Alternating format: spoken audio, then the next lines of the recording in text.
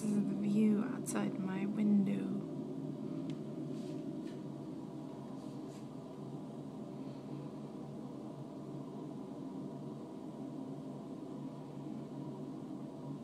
The wind.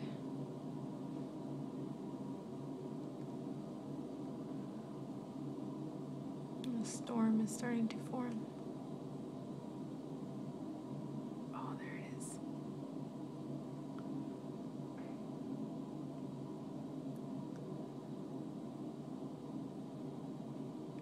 Yay!